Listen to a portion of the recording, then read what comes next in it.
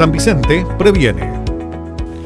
Les saluda Jaime González, alcalde de San Vicente, hoy día lunes 4 de mayo, para transmitirles eh, la situación comunal. Eh, tenemos ocho pacientes con coronavirus, hoy día se suma uno más en nuestra comuna. De los ocho, eh, hay cuatro que ya cumplieron su cuarentena, ya con, más de un mes, ¿no es cierto? Por lo cual han podido volver a su vida eh, relativamente normal. Y eh, tenemos estas cuatro personas nuevas, y hoy día una que se suma, habían tres en los días pasados, que están cumpliendo una cuarentena domiciliaria y están realizándose los exámenes pertinentes eh, de PCR, los familiares y las personas cercanas. Eh, lo preocupante de la situación, ustedes saben que a nivel nacional se ha disparado el nivel de contagio, prácticamente en mil o más de mil diarios en los últimos dos o tres días.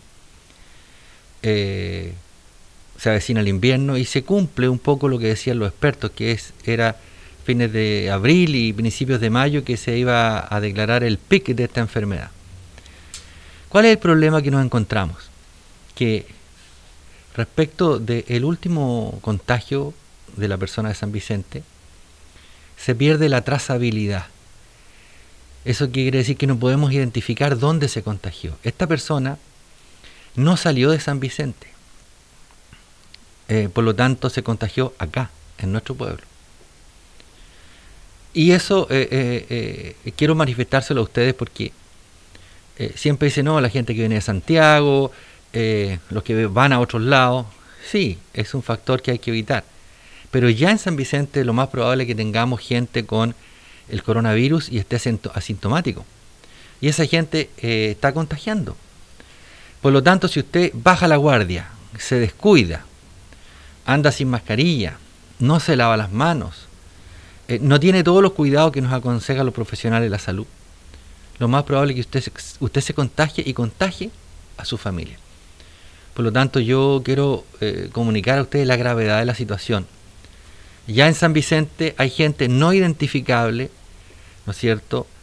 O que no está, eh, los positivos asintomáticos, que, van a andar circulando y usted, ellos están normal, no tienen síntomas, no tienen fiebre, no tienen dolor de cabeza, no tienen tos, y, pero andan con el virus. Entonces, hoy día, eh, extremar eh, los cuidados porque estamos en el pic. Entonces yo como alcalde les transmito esto eh, porque más no podemos hacer. Yo como autoridad comunal no tengo facultades legales para arreglar la cuarentena, eso lo hace el gobierno nacional. No tengo los recursos como para llegar a todas las casas. Eso lo tiene que hacer el gobierno nacional. No hay una política nacional de ayuda a los municipios como debiera ser. Entonces, ¿qué es lo que nos queda? El control que puede hacer cada uno de nosotros en su casa. Nadie nos va a venir a salvar, sino que nuestro propio autocuidado. Así que ese es mi llamado y seguimos en comunicación. Muchas gracias. San Vicente previene.